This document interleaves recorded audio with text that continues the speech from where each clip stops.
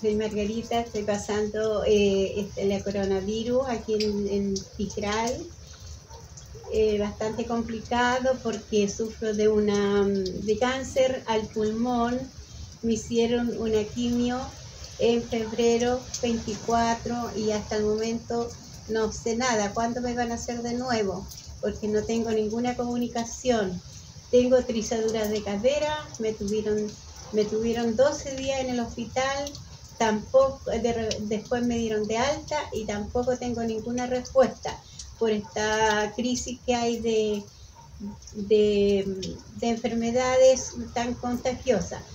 No sé hasta cuándo iré a estar porque el sistema es muy malo, no hay comunicación, no hay ninguna, no, no me ha tratado nadie, ningún profesional. Me, me, he sentido muy mal en estos momentos porque no, hay, no se ha acercado nadie. Estoy abandonada acá en, mi casa.